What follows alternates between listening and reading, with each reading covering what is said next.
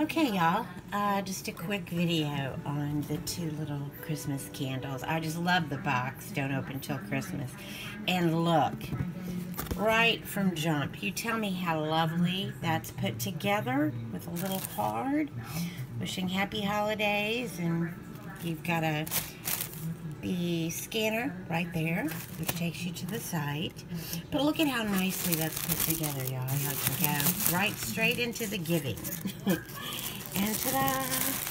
I'm going to take them out because they're just too cute for not showing them. Uh, yeah, are they not adorable? That certainly looks like a real nice little gingerbread man to me. Now, this is the little tree that comes with and that's done really really well. I just realized my little oh, little piece of mine fell apart but that's okay. Well I'm sure it won't be noticeable. Um, I'm sure I can fix it. But those are the candle set and as I said very well packaged. Gingerbread and the Christmas tree. So happy holidays y'all. Bye